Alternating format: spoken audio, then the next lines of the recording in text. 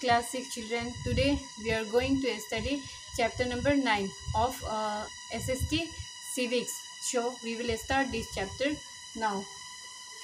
Chapter number uh, 9 class 6 subject civics SST so uh, your name of the chapter is urban livelihood. So now we will see the meaning of urban. Urban means connected with town or city that is called urban livelihood the way that you earn money. So now we will discuss about uh, urban livelihood. So first topic is india can easily boast. Boast means to feel proud. Boast of as many as 5000 towns and nearly 27 big cities. So we can say that in our country india there are 5000 towns and near about 27 big cities are under India in India. So now we will discuss about all this. You can say that 5000 and uh, 5000 towns and nearly 27 big cities are under India. So next uh, next explanation is these big cities are also known as met metropolis or simply as metros. They have a population of more than million people each. So now we can say that uh, in all the cities, uh, those whose population is more than million, that cities are coming under metropolis or uh, metro cities. Next explanation, the big cities are Mumbai, Delhi, Chennai and Kolkata. In these cities, more than a million people live a live sorry and work.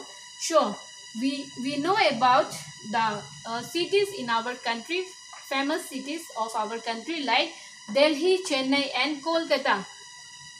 in these all cities, more than million uh, people they used to do their work for their livelihood. And in all these uh, cities population is more than million. Next we will discuss about occupation. Occupation is one of the important uh, important structure of our society. Now we will study that one. Occupation. There are three types of occupation. Now we will study that uh, there are three types of occupation. Now we will discuss one by one. First is primary activity. Occupation closely related to man's natural environment. The activities, the occupation thus who closely related to man's natural environment. That's called primary and this is the first occupation. Uh, first occupation uh, in the group of occupation like primary activity we can say. And second is secondary activity. Activity performed by a unit in addition to its principal activity. So in secondary activities we are adding adding the principal day by day. And it is secondary activity under occupation. Uh, third is tertiary activities or we can say uh, tertiary means third group. So it consists of all services, occupation, transport, education, health, etc.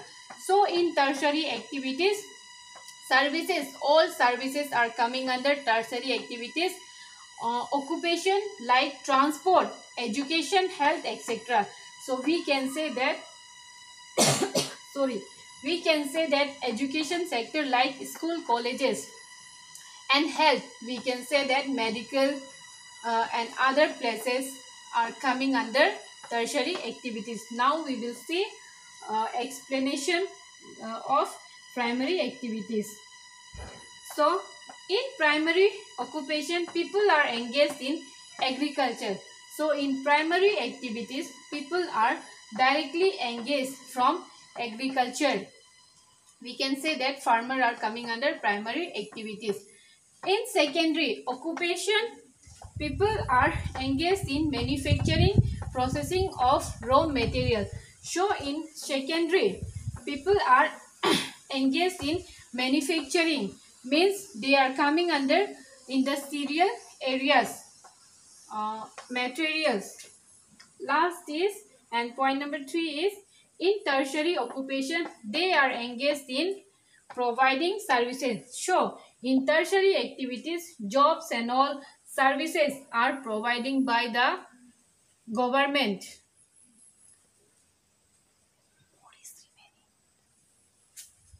Types of livelihood. Now we will discuss about types of livelihood.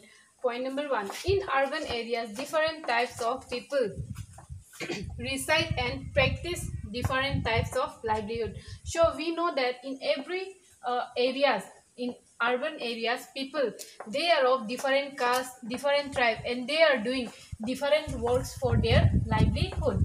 Point number two they are divided as factory workers who work hard day and night. So uh, but are unable to get good salaries.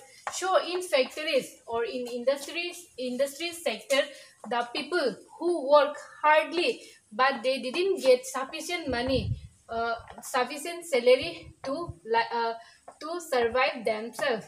Uh, point number three shopkeeper and businessmen are busy in selling and buying of different types of things. We know that business businessmen are one of the important uh, part of our uh, nation or we can say in every areas we have a large number of businessmen and shopkeeper. Shopkeeper you can say that uh, from whom we are buying things. So uh, these people like shopkeeper and businessmen are busy in selling and buying of different types of things.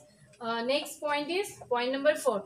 Professional life teacher doctor lawyer etc form core of the urban population the uh, urban population they provide services. So in every metropolitan cities teachers they are also in large number doctor lawyer and others. And they uh, and this are we can say that they are the core of uh, our urban areas or metropolitan cities.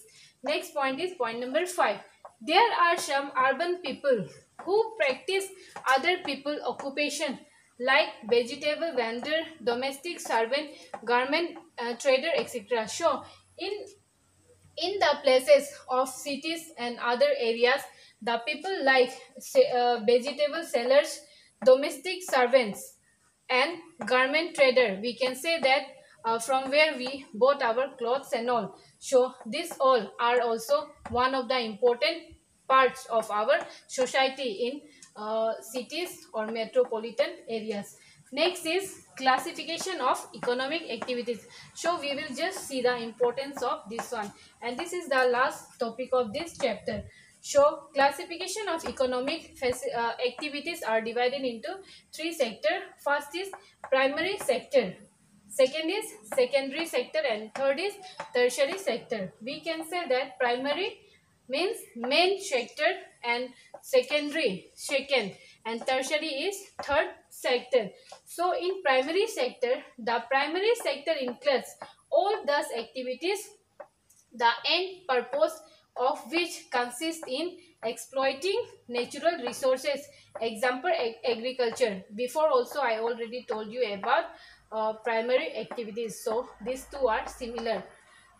Little bit Next point is secondary sector. The sector of the economy concerned with or relating to secondary industry. So, this secondary sector that is relating to the industry sector. Next is tertiary sector. The sector of an economy with or relating to tertiary industries. So we can say that in third sector services and all we already before learned this one in our previous topic uh, that one is uh, tertiary activities. So that's all for your this uh, chapter number 9 if you have any queries regarding this chapter then you can ask me question through whatsapp. Uh, and we will meet in our next class. Revision part i will do in that. So till then children thank you and stay safe